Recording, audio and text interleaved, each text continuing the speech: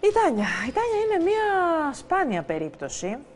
Ε, είναι η γυναίκα με τις δύο μήτρες. Κάποτε δεν θα μπορούσε, παλιότερα, τα παλιά τα χρόνια, δεν θα μπορούσε σε καμία περίπτωση να γίνει μητέρα. Να κρατήσει στην αγκαλιά της το κάρπο του έρωτά της. Σήμερα έχει έρθει στο στούντιο κοντά μας, βγήκε μόλις χθες από το νοσοκομείο, είναι η πιο ευτυχισμένη γυναίκα στον κόσμο και τα κατάφερε. Καλώς ήρθες. Κοντά μας και ο Νίκος, ο σύζυγός της. Καλώς ήρθατε. Και ο γιατρός τους, ο γιατρός που τα κατάφερε και έκανε το θαύμα, ο κύριος Γιάννης Καλογύρου. Καλώς ήρθατε. Εγώ ευχαριστώ για την πρόσκληση. Πάμε να δούμε ένα βίντεο. Πώς έγινε ένα μεγάλο όνειρο πραγματικότητα. Εσύ ήσουν καθλήτρια, ε; Συνεχίζω. Και θα Μπασκετμπολίστρια. Και θα συνεχίσεις; συνεχίσω. Εννοείται. Έτσι είναι. Οι άνθρωποι που κάνουν αθλητισμό και πρωτοαθλητισμό δεν το βάζουν κάτω σε κανένα επίπεδο της ζωής τους. Καταφέρνουν το στόχο. Έβαλες το καλύτερο καλάθι της ζωής σου και πάμε να δούμε το βίντεο.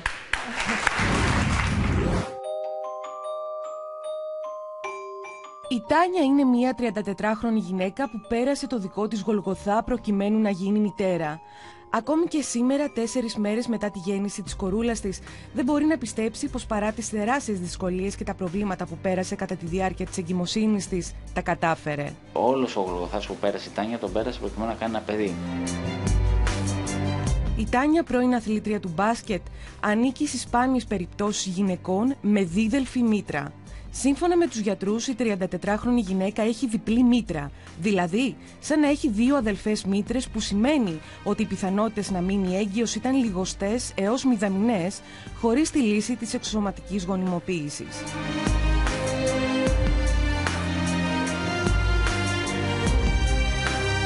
Παράλληλα και το έμβριο θα συναντούσε δυσκολίες για να αναπτυχθεί και να μεγαλώσει, όπως και συνέβη, αφού το περιβάλλον της δίδελφης μήτρας, ο χώρος ήταν στενός και περιορισμένος, με αποτέλεσμα να υπάρχουν δυσκολίες που αφορούσαν ακόμη και την επιβίωσή του. Προσπαθούσα 6,5 χρόνια να κάνω παιδί.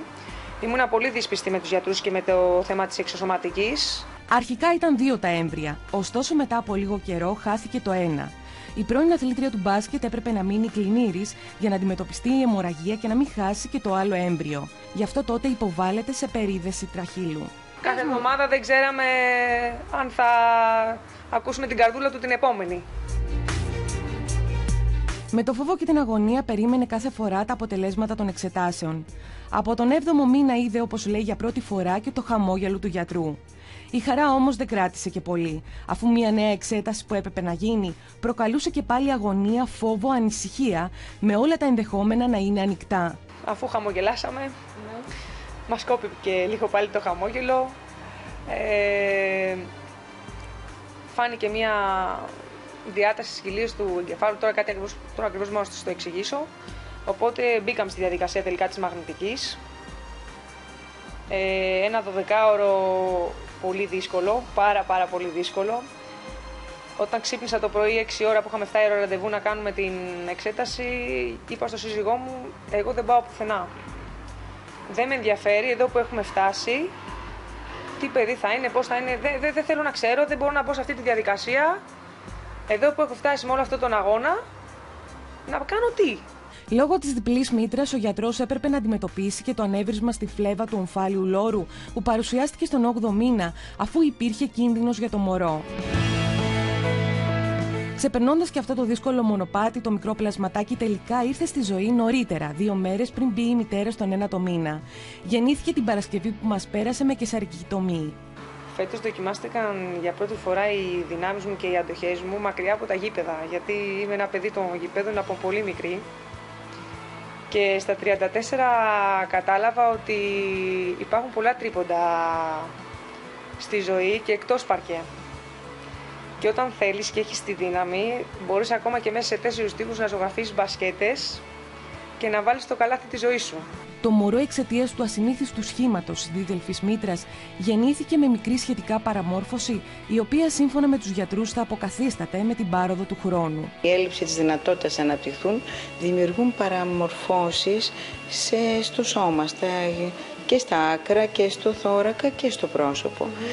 Αλλά συνήθως ε, τις περισσότερες φορές αυτές αποκαθίστανται.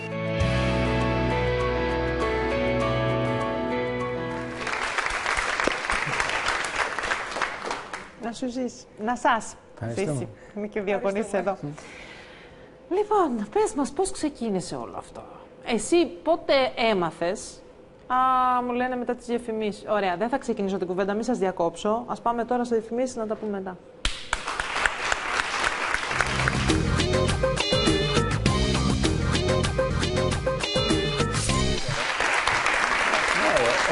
Και πάλι κοντά σας. Κάποιοι μπήκατε τώρα στη συντροφιά μας και δεν παρακολουθήσατε την α, εκπομπή νωρίτερα, δεν ακούσατε την ιστορία της Τάνιας. Η Τάνια είναι μια γυναίκα μοναδική. Γιατί ε, είναι μια γυναίκα που έχει δύο μήτρες. Αυτό ε, καθιστούσε πάρα πολύ δύσκολη τη σύλληψη ενός εμβρίου. Ήταν πάρα πολύ δύσκολο να κάνει μωράκι. Τα κατάφερε. Σήμερα βγήκε από το νοσοκομείο και σήμερα είναι κοντά μας με τον γιατρό της, τρεις ευτυχισμένοι. Και θα μας πει σε λίγο περισσότερα. Α- από πότε, πότε έμαθες εσύ ότι έχεις δύο μήτρες, σε ποια ηλικία; 18 χρονών. Όταν πήγες για πρώτη φορά στο γυναικολόγο σου. Έκανες υπερηχο... υπερηχογράφημα, φαντάζομαι, Την, κλασική, την κλασική γυναικολογική εξέταση. Και τι σου είπε εκείνη την ώρα ο γυναικολόγος; Ότι η μήτρα μου είναι, έχει μορφή δίδελφη. Ναι. Ήξερα, έμαθα από τότε ότι όντως θα δυσκολευτώ σε κάποια πράγματα, αλλά όχι Όχι ότι αυτά που ήρθαν μετά. θα ζοριζόσουν τόσο πολύ. Ακριβώς. Είχε κάποιος από την οικογένειά σου, Ίσως είναι. ξέρεις; Ίσως είναι κληρονομικό, αλλά προγιαγιά. Ναι. Όχι νεότερη γενιά. Ε, όταν παντρεύτηκες και αποφάσισες να κάνεις παιδί, σου είχαν πει οι γιατροί ότι θα είναι πάρα πολύ δύσκολο να μείνεις έγκυος; Όχι. Α, δεν στο είχαν πει αυτό. Όχι, όχι. Γιατί είναι δύσκολο να μείνει έγκυος μια γυναίκα που έχει δύο μήτρες στην ουσία; Δηλαδή είναι μια μήτρα χωρισμένη στη μέση; κάπου- Είναι δύο, μικρές μήτρες. Δύο είναι μικρές δύο μήτρες. μήτρες, ουσιαστικά μια μήτρα φανταστείτε κανονική Ναι. χωρισμένη στη μέση, Ναι. σαν δύο ξεχωριστές. Οι κοιλώτε αυτές είναι πολύ μικρές. Οπότε όταν εφητεύεται το έμβριο, λόγω του ότι οι κοιλώτες είναι πολύ μικρές, δυσκολεύεται στο να μείνει έγκυος να εφητευτεί το έμβριο μέσα στο γονιμοποιημένο άρι. Η Δηλαδή, σύλληψη πώς γίνεται, δηλαδή, αν, αν γινόταν με φυσικό τρόπο, πώς θα ακριβώς θα περούσε το σπέρμα μέσα από τον τράχυλο, Ναι. εν συνεχεία θα πήγαινε προς τη σο- στην οθήκη την αντίστοιχη. Ε, και σ- εν συνεχεία θα γινόταν η γονιμοποίηση στη σάλπιγγα και το γονιμοποιημένο άριο θα μπαινε και θα εμφυτευόταν μέσα στη μήτρα. Σε ποια όμως από τις δύο μήτρες; Ναι, η κάθε μία μήτρα έχει δίπλα της και την αντίστοιχη οθήκη. Α, Δεν είναι δύο μήτρες με τέσσερις οθήκες. Είναι μία, δύο μήτρες ξεχωριστές και κάθε μία αναλαμβάνει τη μία οθήκη, τη μία δηλαδή τη δεξιά και η αριστερή την αριστερή οθήκη. Και αντίστοιχα τις σάλπιγγες. Αχα. Είναι δηλαδή κάπως έτσι. Το κάνω λίγο σημαντικά. Απλά η διαφορά είναι και είναι πολύ συνηθισμένο ότι έχουμε τις ε, ανομαλίες της μήτρα είναι πάρα πολύ συνηθισμένο. Το βλέπουμε σε καθημερινή βάση. Ε, Δίκαιρες με διάφραγμα, καρδιόσχημες, μπορεί να ακούσει από τον γιατρό. Όμως πραγματική δίδελφη η μήτρα, δύο μήτρε ξεχωριστές, με δύο τραχύλους ε, ξεχωριστούς, ε, είναι πάρα πολύ σπάνιο. Πάρα πολύ σπάνιο. Και είναι και πάρα πολύ δύσκολο στο να μην. κα- Είναι, υπάρχει μια αυξημένη δυσκολία στο να μείνει η γυναίκα έγκυος και να το κρατήσει κυρίως.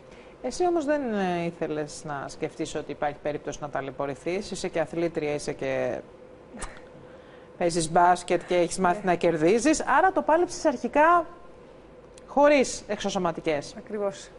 Πόσο καιρό το πάλεψες; Ε, 6,5 χρόνια. Ε, το πάλεψες αρκετά. Μμ. Άρχισες καθόλου να απογοητεύεσαι, να στεναχωριέσαι. Ε, ναι, πέρασα, μετά πέρασα. το τρίτο τέταρτο χρόνο. Άρχισες να περνάς τέτοια στάδια. Αμέ. Μμ. Αμέ.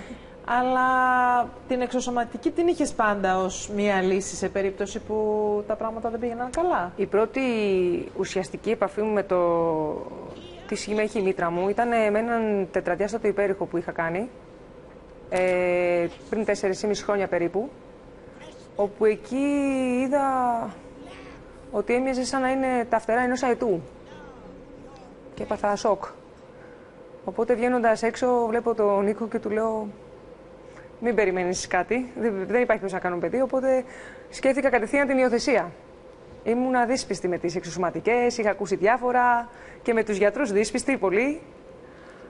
Και έψαξε και αυτό, δηλαδή μπήκα και σε αυτή τη διαδικασία Ενώ ταυτόχρονα ε, πέρασα από πολλούς γιατρούς, ώσπου κατέληξα στο Γιάννη. Αν δεν τον γνώριζα, δεν νομίζω να είχα κάνει εξωματική. Τον Νίκο τον βλέπω συγκινημένο τώρα. Ακούει τη γυναίκα του, σκέφτεται. Εσύ, εσύ πώς την πέρασες από τη διαδικασία ως Επειδή- σύντροφος; Επειδή το έζησα κι εγώ αυτό από κοντά, προσπάθησα κι εγώ να τη στηρίξω. Ε, βέβαια δεν της είπα ποτέ, δεν την πίεσα ποτέ, γιατί ήξερα ότι όλο αυτό το θέμα ήταν δύσκολο. Ήταν δύσκολη αυτή η προσπάθεια και δεν ήθελα να είμαι εγώ αυτός που θα της, θα τη βάλω σε αυτή τη διαδικασία. Ήθελα να το, ήθελα να το αποφασίσει μόνη της. Τελικά, όντως ήταν σωστό αυτό γιατί το αποφάσισε και το πέτυχε. Μέσα σου το ήθελες πολύ όμως το να ήθελα, πάτε ναι. για Το εξωματική. ήθελα, αλλά Άρα είσαι από τους άντρες που ήθελες πολύ παιδί. Γιατί ξέρεις υπάρχουν και πολλοί άντρες που δεν τους πολύ νοιάζει. Ο άντρας δεν έχει πάντα ανεπτυγμένο μέσα του Δεν το το- πατρικό ένστικτο. Δεν θέλει οπωσδήποτε να γίνει πατέρας. Οι γυναίκε το έχουμε πιο. Εσύ το ήθελε μέσα σου. Σε τα, σιγότρογε τα αυτό. τελευταία χρόνια. σε ναι. σιγότρογε. Όχι όλα τα χρόνια όμως. Στην αρχή δεν σε ένοιαζε. Μετά Αλλά όσο άρχισες περνάγανε λίγο τα να το. χρόνια Ήθελα, ναι. Αλλά ήξερα όμως την, πε- την κατάσταση και είχα λίγο αποτραβηχτεί. Την αγαπά όμως πολύ τη Ναι. γυναίκα σου, δεν σε ένοιαζε. Σε ένοιαζε τη γυναίκα σου να έχεις πρώτα απ' όλα, έτσι δεν είναι; Σας είπε ότι όταν βγήκε από τον γιατρό, είπε να, υιοθετη- να υιοθετήσουμε. Όταν. ε, Όταν πήγατε, ποιος είπε πρώτη φορά, εσύ του πες λοιπόν κάποια στιγμή, λέω να πάμε για εξωσωματική, πώς ήρθε. η- Όχι, ε, ε, άρχισα και ψα, έψαχνα να δω για ποιο λόγο Ναι. δεν μπορώ να τα καταφέρω και να πάρω και δι- άλλες γνώμες, ε, να δω τι γίνεται ακριβώς. Ε, αλλά την ασφάλεια που βρήκα στο Γιάννη δεν την είχα βρει και, και δεν είχα προχωρήσει. Εκεί Άρα αυτό σημαίνει ότι ε, όταν α, συναντήθηκες με τον κύριο Καλογύρου, τον γιατρό σου, ε, άρχισες να νιώθεις ότι τα πράγματα θα πάνε καλά. ναι, ένιωσα ασφάλεια. Γιατί ένιωσες ασφάλεια, γιατί τελικά το θέμα και της ψυχολογίας της γυναίκας, Ναι. κύριε Καλογύρου, παίζει τεράστιο ρόλο, έτσι δεν είναι; Ναι. Γιατί ένιωσες ασφάλεια; Γιατί αισθάνθηκα ότι ασχολείται καθαρά με μένα. Με το θέμα μου, με το πρόβλημά μου, με αυτό που αντιμετωπίζω όλα αυτά τα χρόνια. Και ε, ήθελα, έτσι, κα- αισθάνθηκα αυτό, ότι ασχολήθηκε προσωπικά με μένα. Να Και- συμπληρώσω, ναι. να συμπληρώσω ότι ε, αυτό που έχει σημασία είναι να υπάρχει επικοινωνία μεταξύ της γυναίκας και του γιατρού, ώστε να εξηγήσει ο γιατρός τι ακριβώς έχει να αντιμετωπίσει, η γυναίκα δηλαδή να εξηγήσει τη γυναίκα τι ακριβώς έχουν να αντιμετωπίσουν από κοινού. Ποιο είναι το πρόβλημα, ποια είναι τα ποσοστά επιτυχίας, τι προβλήματα θα έχουν κάθε εβδομάδα, πώς θα εξελιχθεί οτιδήποτε. Και αν η γυναίκα είναι καλά πληροφορημένη, αισθάνεται ασφάλεια. Άρα Αυτό είναι το εσείς σημαντικό. είσαστε ειλικρινείς για όλα όσα θα αντιμετώπιζε. Της είπατε την αλήθεια, σε μέχρι, όλα τα μέχρι επίπεδα. πριν γεννήσει την. Ε, ε, πότε την Παρασκευή, έτσι. Μέχρι και την Παρασκευή ε, ξέραμε τα πάντα. Ε, της είχα πει τα πάντα όσον αφορά το τι θα αντιμετωπίσουμε και τι φοβίες είχα και εγώ ίδιος σαν γιατρός. Ε, έμεινε έγκυος με την πρώτη προσπάθεια. Μπράβο. Εξαιρετικό. Μένεις έγκυος με την πρώτη προσπάθεια και μετά αρχίζει ένας άλλος γολγοθάς. Ακριβώς. Ακριβώς. Άντε μείναμε έγκυος, αν το μωρό θα είναι καλά. Ήταν δύο τα μωρά. Α, ήταν στις δύο μήτρες και στις δύο Ένα και μήτρες. ένα, ναι. Τι λες; Και στους δύο μήνες το ένα το χάσαμε.